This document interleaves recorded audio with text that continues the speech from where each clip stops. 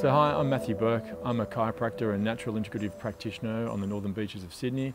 I'm the director of Optimum Health Essentials uh, that's been you know, providing these integrative natural therapies for the last uh, 17 years. In clinical practice for us, it's really making sure we, we know what their key goals are, you know, what, what's brought them in and what are they hoping to achieve with, with their system and helping them understand that that they may come in with a physical problem, but that might have an emotional primary. You know, the reason that that's their lower backs really has gone into an acute spasm when they haven't done anything to, to, to cause that is because of you know an, some financial stress that they might have been going through at the time. And the way the beliefs they have around that which causes the body to get stuck it's not really the financial stress itself it's the story they tell themselves about it you know? And when and the energy to get stuck because of that. So we can go in and there's really effective tools we have for quickly establishing what that is and and cutting to the chase of what's underneath that in order to release the energy. These things you, you, need to be able to map through and using applied kinesiology is a really powerful tool for looking at a broad range of things and being able to narrow down really quickly so that when you do choose to do uh, pathology tests to really quantify and, and verify something. You're very targeted and you're not wasting resources and time testing a whole range of things that you don't even need. Whenever we're looking at, at a problem, it's never keeping it one dimensional and thinking, well, I'm a carpenter, I'm just going to hit it with a hammer, right? So we see ourselves as having the full spectrum of things and that we can uh, focus on for someone, whether it's physical, chemical, or emotional, and helping to, to move them in the direction that addresses the primary and also addresses as far upstream as you can. You know, if you can, you don't want to be working on all the, the, the secondary symptoms of something. You really want to go back and try and find the primary cause uh, so that when you shift that, it changes everything downstream for that, you know? Um, and, and, that's our focus. That's always just like, well, what, why? Why is that there? You know, not, oh, you have this, so let's just address this symptom this way.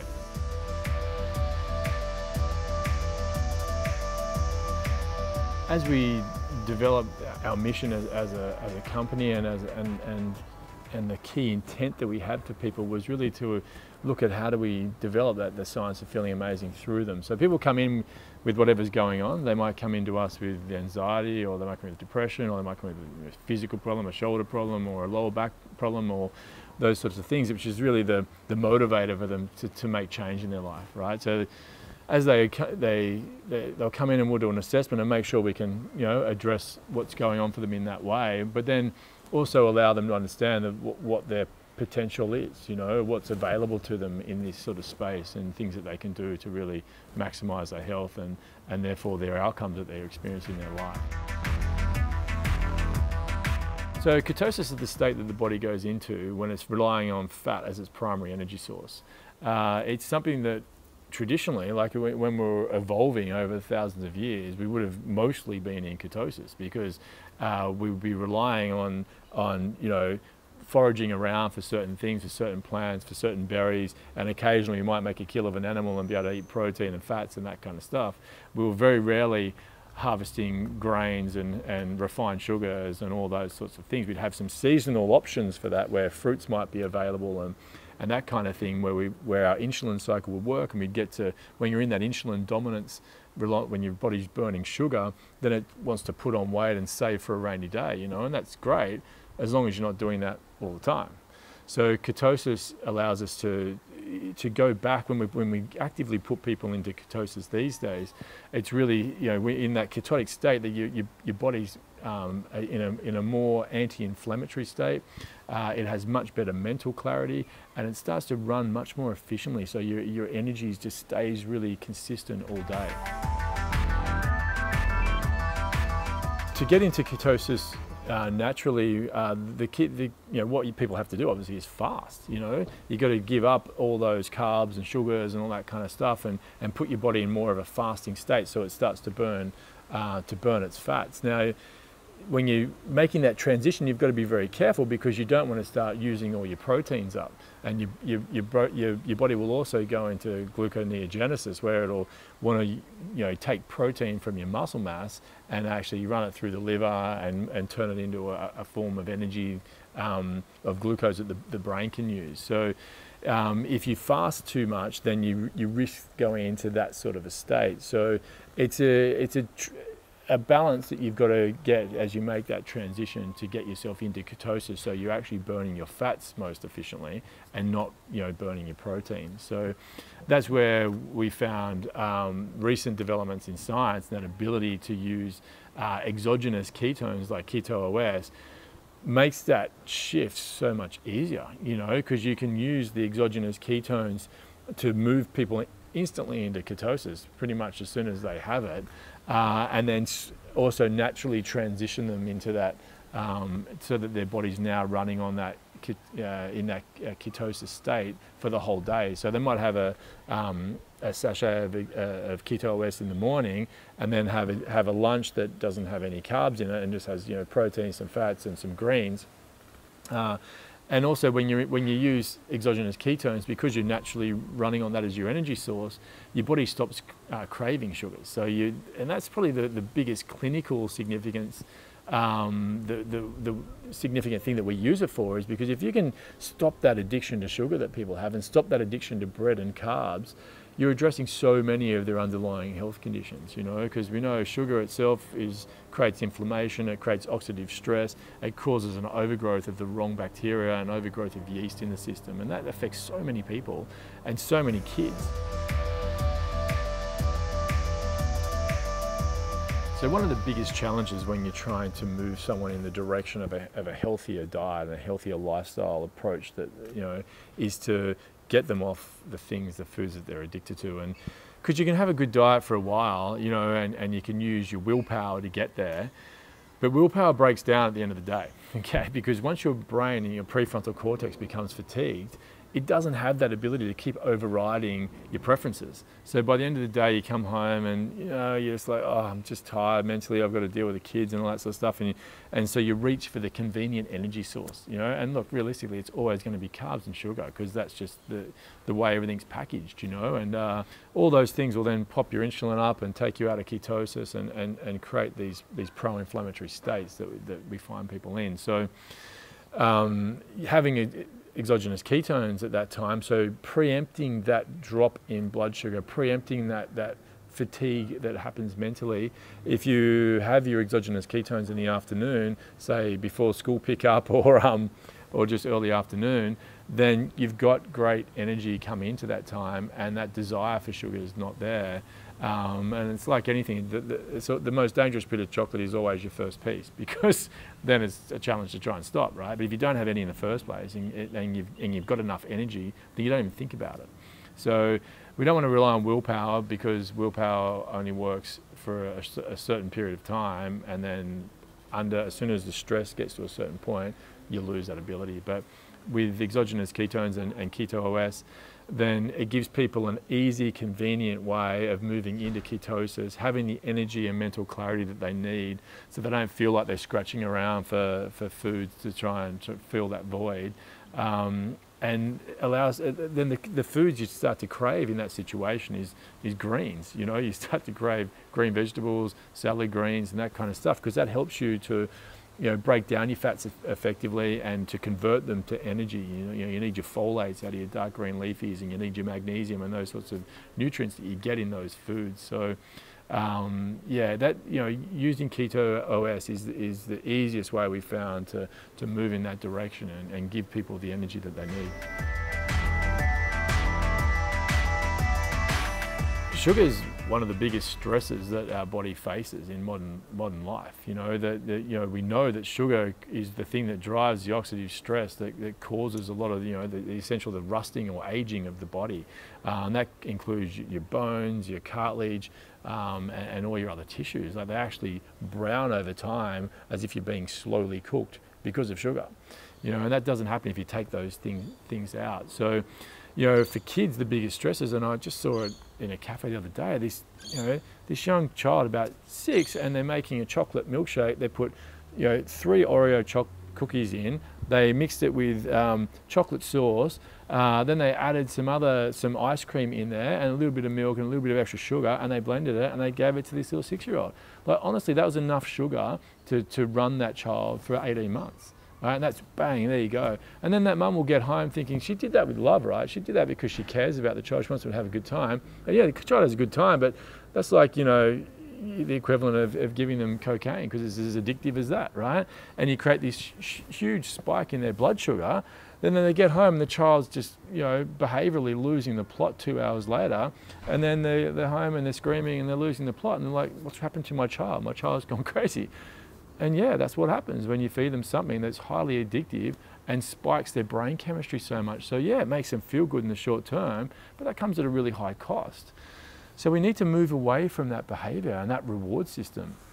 And so, you know, again, kids when they come home from school, they have that drop in blood sugar when they, as they, uh, you know, get home at three, so they can be irritable and grumpy, and they often will just raid the pantry and eat whatever they can find, which again is nearly always carbs and sugar. And then they, you know, don't eat healthy foods at dinner time. so, you know, so that giving them exogenous ketones as soon as they get home again pops their energy up in a way that has them burning fat as their fuel source and not going for sugars. So it takes away that, that appetite that they have and you know gets them choosing healthier things by the time they get to dinner time. They naturally feel like eating healthier, which is what we found, and that has a huge effect on behaviour and focus and and the functioning of the whole family unit. in adults, the, um, you know, the, the, the, key issues for sugar is obviously type 2 diabetes. It contributes to osteoarthritis. It really overgrows your microbiome, so that contributes to brain fog and fatigue, and, when, and, and also anxiety and depression. So then you get caught up in that cycle where you know you, are tired, so you drink coffee. Coffee spikes your insulin, then you eat more sugar. Then you, you come home and you're wired and, and, and tired, so then you need a, a, wine, and then you know, and then people are in this constantly you know destructive cycle, which is what's called normal. but, but leads people into these chronic states of dysfunction, you know, because you you're feeling crap, so therefore you you don't make great choices, and therefore you're irritable, and that's not very good for you as a parent, and that's not really good for you as a spouse. And it brings out those lower levels of your personality type. So, you know, the importance of it can't be underestimated. This is not a small deal. This is not just this, oh, you should do this because it's a good idea. You know, this is like this. You know, this pattern is contributing to so much dysfunction in people's lives. You know, not just their health, but their relationships and how much fun they're having and the choices they make. And those little choices in every moment really determine where you end up you know, and, and it plays a huge factor over time. So, you know, I think giving people easy ways to make these transitions into, you know, higher states of living is just so critical. And, and Keto OS is that sort of supplement that um, can act as a meal replacement, but it also can help to just supplement a, a, a really good transitional diet for people. And, you know, honestly, they can't, you know, once they're a couple of weeks into it, they can't believe how different they feel, you know, and it's, uh, and it's just a no-brainer because it takes all the, the stress out of sh that shift to ketosis, which would normally take three or four days and require fasting and really specific dietary interventions, which you know people find challenging to do that and go about their their normal life. You know, it's okay to do that when you're on a retreat and you've got nothing else to do, but you know, trying to manage kids and run businesses or, or work in demanding jobs, and, and that's quite a hard thing to pull off, and therefore not generally sustainable unless they have a huge degree of uh, self-regulation, which, you know, that's a small proportion of people.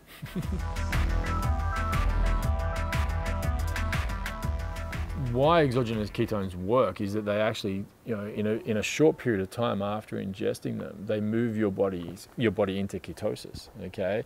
So once in ketosis, your body's running a different system completely biochemically than what it runs when it's in, in what we call an insulin dependent system. So your body responds to, to, in, to sugar by, as blood sugar increases, your body produces insulin and that allows the cells, you know, muscle cells and other tissues to take up um, that, the, that, that glucose and either store it as fat or use it as energy you know, but it's your body's got to try and keep that at a very consistent level. So you know, so it's, it's having to. It often will um, because if, you, if the blood sugar gets too high, that's so dangerous for the system that your body will often secrete more insulin than it needs, and that causes that blood sugar dropout, which is why when people run on insulin, they're doing this all day, you know. So they have this initial up with the first coffee and their piece of toast, you know, and then then they crash around 10 and they need something sweet, you know, again, like they'll either have another, another coffee or they'll have some biscuits or they might have a piece of fruit if they're feeling slightly healthy. And then, um, and then that, that gets them through to lunchtime. And if they have a high sugar lunch, then they crash again by three. So again, they're looking for something then you know, and, and it becomes that almost desperation to get it. Whereas when you're on when you're running on ketones, ketones are like running a really efficient diesel in your system instead of uh, a short-acting high-octane fuel. You know, so sugar is really short-acting and, and gives you an initial lift, but a, a, faster drop. Whereas ketones are, are, a slower burn. You know, and they, and therefore they keep the energy really consistent in the system. They have an appetizing suppressant kind of uh, effect on the brain because obviously if you're in ketosis you know you normally have fasted to get there and if anyone who's done any fasting will realize once you get to about day two or three and you move into ketosis you stop thinking about food so much you're no longer as hungry it's not such a big dominant deal for you you know you're not feeling god i have to eat now you're thinking well i I could eat, and that smells nice, but it's like a smelling a flower. It's kind of, you know, it's another nice thing, but I don't have to have it. You get past that that point. And so, you, have, you know, taking exogenous ketones and moving into that straight away means that it becomes like that for you. You could eat, you feel like you're much lighter and leaner, but you don't feel like you have to eat. So you can stretch it out between meals, which is super important because the biggest issue that people have as well when they're on that roller coaster is they're eating too frequently and, you, and your migrating motor complex of your small intestine takes four to five hours to kick in so they're tending to get this congestion in the in the um, uh, in the lower digestive system, and that contributes to this toxicity over time. So ketones allow you to have bigger spaces between meals. It stops you having to think about food when you're engaged in whatever you're engaged in.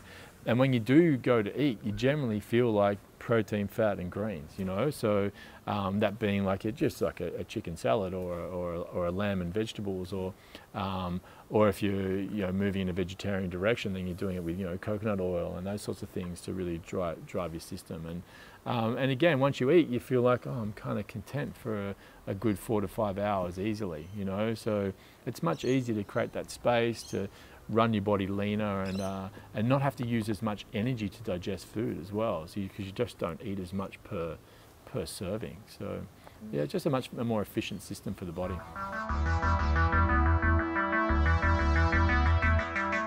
I think the longer you can be in ketosis, the better for you. You know, so in, in, the in the long term, it's how effective are you at managing that yourself. So if you get to the point where you can manage your own ketosis through diet, then then that's awesome. But it's in um, in modern living, it's not easy to do. You know, realistically, I'm very focused on what I put into my system, um, but it's far easier for me to to use an exogenous form of ketones so that I have one meal that puts me straight in it, and then I can just have a couple other meals that day, which I know will maintain it for me.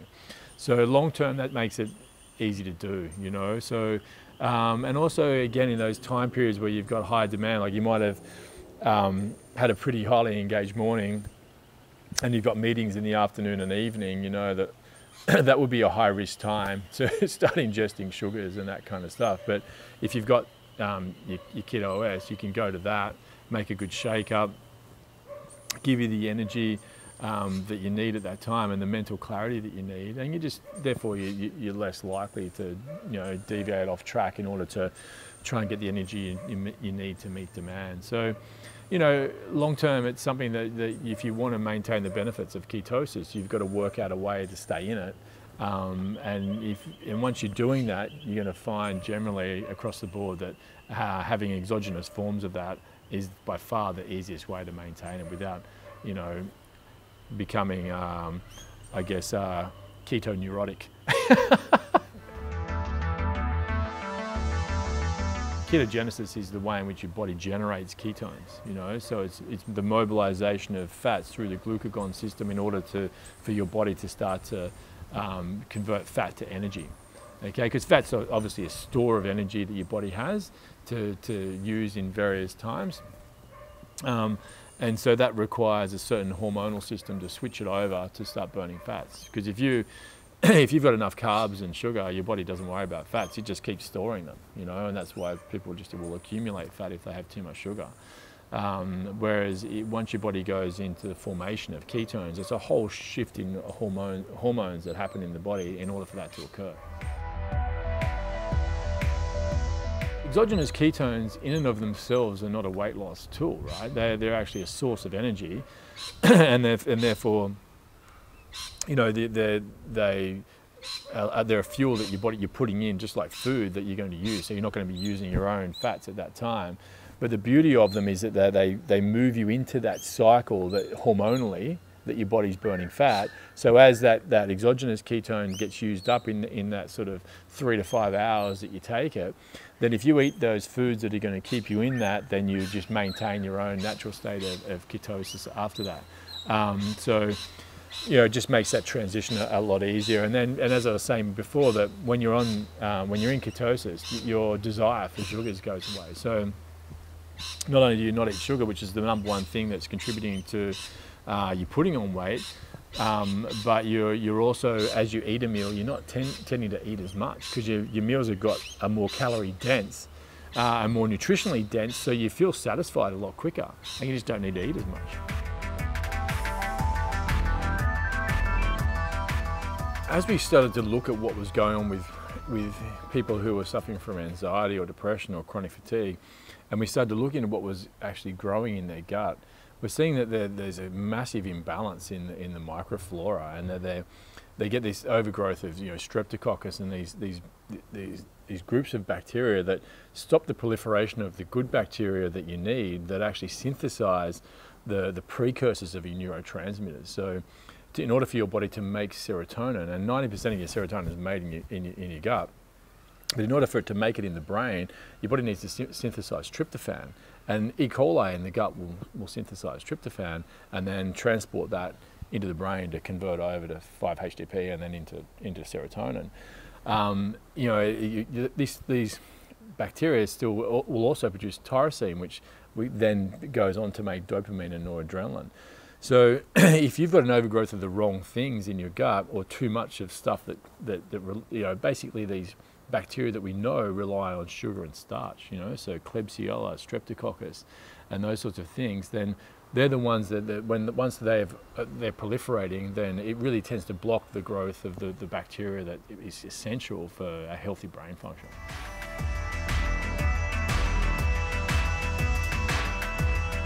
If you stop feeding the, the bacteria sugar and starch, uh, then that could, because when you feed those bacteria, those bacteria produce uh, chemicals that then get absorbed into the, into the bloodstream. Um, those chemicals, such as lipopolysaccharide, are the things that actually can get into your joints and make your joints feel stiff. But they're also, as they build up in your system, then they actually cause the brain fog and congestion and tiredness that your brain can experience because your brain becomes becomes inflamed, and the and the, uh, the the glial cells and the microglia that exist in there to, to take out the trash just get overwhelmed. So you, you, the spaces between your neurons start to become congested because you're not taking out the trash enough.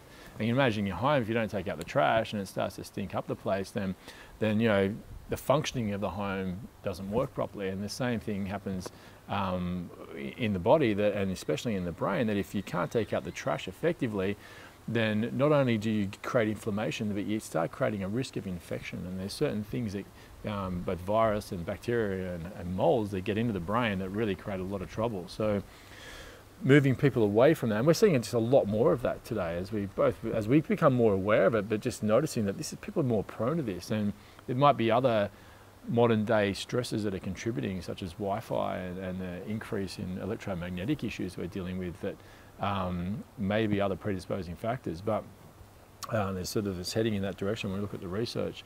But being able to shift people away from sugars and move them into ketosis is the thing that allows that, that, that gut flora to start to return to a more normal state. Um, and as it does that, then those bacteria that are required to make the precursors for all the things that your brain needs are now working much more effectively, and you move back into a normal biochemical state. But as soon as you, you throw uh, high calorie, you know, sugars and stuff into, into the system, then that just feeds those other bacteria, and those as, as those other bacteria proliferate, they create that waste product that then your body's got to deal with. And you know, essentially 40% of the toxicity your body's dealing with on a daily basis is coming from your microbiome. Um, so whatever you're feeding that, especially if you're feeding it, you know, a chocolate milkshake that I was talking about earlier, you can imagine that that creates a whole bunch of waste that your body has to deal with, not just from the milkshake itself, but from the byproducts that are created through the microbiome. And some of those things are really toxic and, um, and have very detrimental effects on both the bowel itself, but then also systemically right through the system, especially your brain. Uh, so you know, so ketones play a huge role for the you know in, in terms of um, well, moving on to a ketogenic diet plays a huge role for the health of that microbiome and moving it back into a more normal state.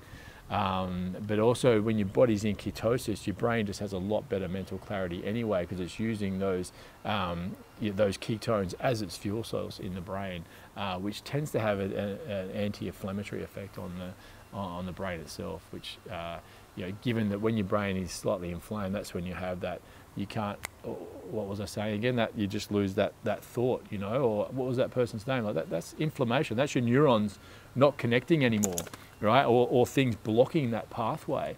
Uh, and, and when you when you take those inflammatory things out then your brain's back to that sharpness and your memory is back and you've got that clarity again which is just you know, is super important. And, and you know because that's affecting a lot of people because the normal diet that people are on just isn't working for them.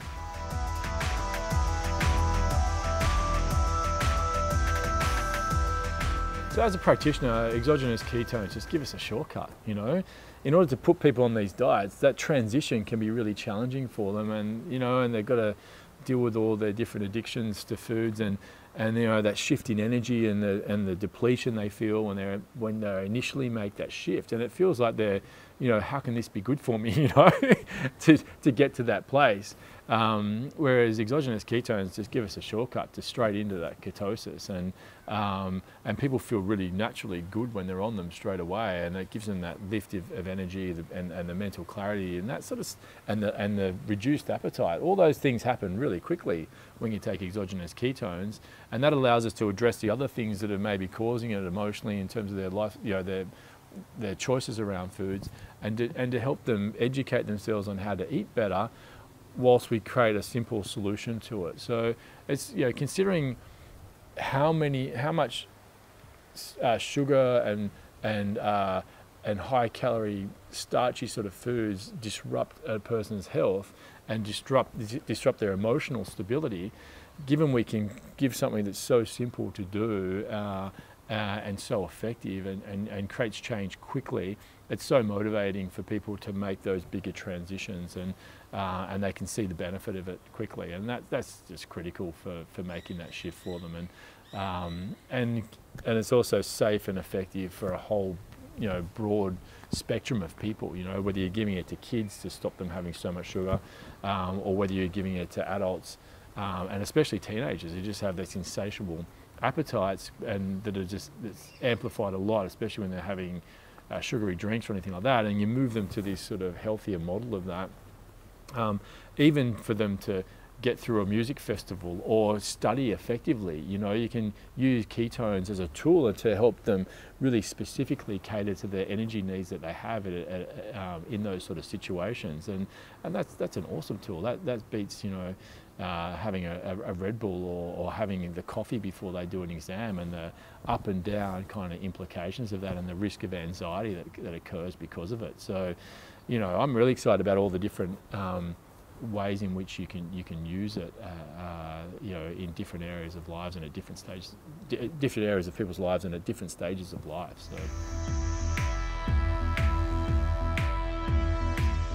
Look, we know that um, you know, that sort of brain inflammation we are talking about, the end stage of that is Alzheimer's. And, and we're talking about 600% increase in Alzheimer's in females over 50 now, right? You know, people are worried about terrorists.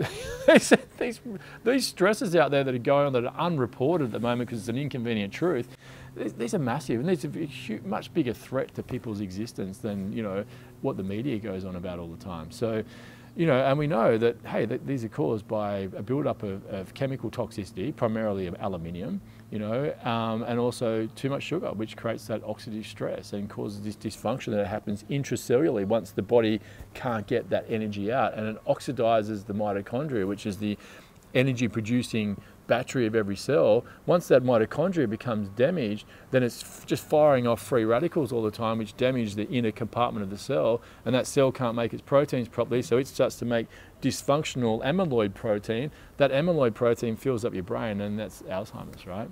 So that's that's what's happening. We know what's the cause. We know how it works, and and yet people aren't addressing it and it's going up exponentially like you know like autism is which is a reflection of toxicity and too much sugar you know that's essentially what's going on there and, and ketones obviously are a way to to address the sugar side of that equation and then we need to deal with the, the, the toxic elements.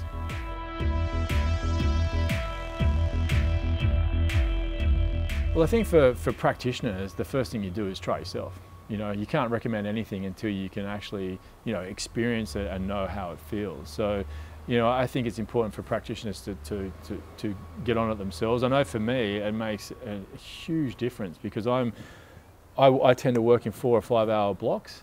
And if I was to eat anything, even fruit, before before a shift, then I find my blood sugar's up and down. And mid shift, I'm looking for something that I need to eat, or I'm feeling like I'm like hunger starts to pervade my consciousness instead of the focus of the of the person that I'm with.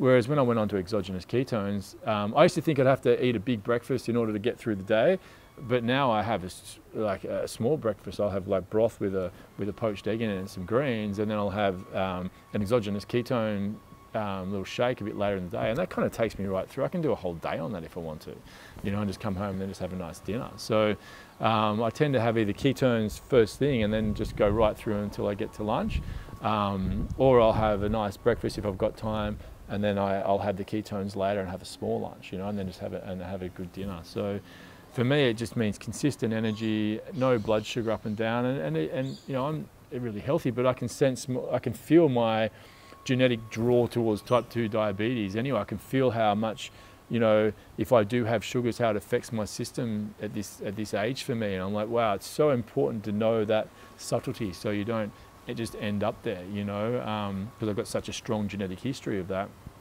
So, you know, being able to use something like um, Keto OS and just get myself off sugar, you know, to, and, and still feel like I've got the energy, in fact, better energy than I've ever had to deliver at the level I expect of myself is, is just being critical. So, you know, for other practice, I'd say just, you know, get yourself on it, work out what form and how, what time of day best suits you and get a good understanding of it because it can just help so many other people. Yeah, for me, because I'll kind of tend to use it, you know, I've got to be efficient in my week. To, don't have a lot of time spare, so I'll, um, I'll, I'll tend to have it as a meal replacement when I have it. So if I have it for breakfast, I'll have it with, you know, two thirds water, one third coconut milk. We generally use inside out coconut milk as an organic cold pressed version. Um, and then I'll put some greens just out of the garden. Um, and then, uh, yeah, that's that's the, this, just to just to help. Yeah, again, it, it, whenever you use greens, it's helping your body break down fats more effectively, which is helping me my body move that transition from exogenous ketones or keto OS into making my own ketones from my, the own the fats in my body. Um, and then later in the day, when, when I'm having the next, the first meal I have, I always make sure I've got dressing that's, you know, you, you've been very generous with your olive oil or your coconut oil and, and a mix of different oils like that within the meal. Um, so you, you, you, can, again, that you can easily transition to running on those sorts of fats through the day as well.